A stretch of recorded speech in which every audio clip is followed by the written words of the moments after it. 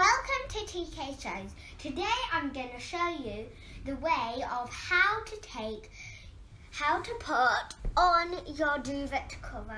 First, you'll take the dirty duvet cover off and you'll need to wash that. Now I have took the dirty duvet cover off. I'm going to put it to one side. Then um, I have now laid out my duvet cover nicely. I'm going to get my new pink duvet cover out. And you will need it inside out. and now mine is already inside out. And lay it on top of your duvet cover. This then you will need to roll it up.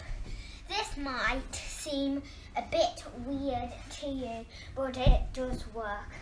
I've been practicing it too.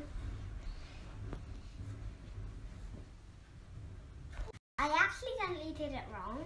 You'll see that the closed end where you can't put the duvet in, you have to roll it from that side because you need the mouth of the duvet cover that opens up you'll need it other side that you're not rolling up or it'll just go all wrong and it'll be very hard. So keep rolling till you're nearly there but leave a little space. Then I'm going to fold this and you'll need to do this to the other side too. Open that mouth and like kind of like put your duvet in. This is a bit of the hard piece. Um, You'll now kind of see it's all wrapped up. That was the hardest piece. There's no other ones that hard. And I did that. And then you'll see at the bottom you'll have a hole and kind of like unwrap it this is a bit of the easier pieces.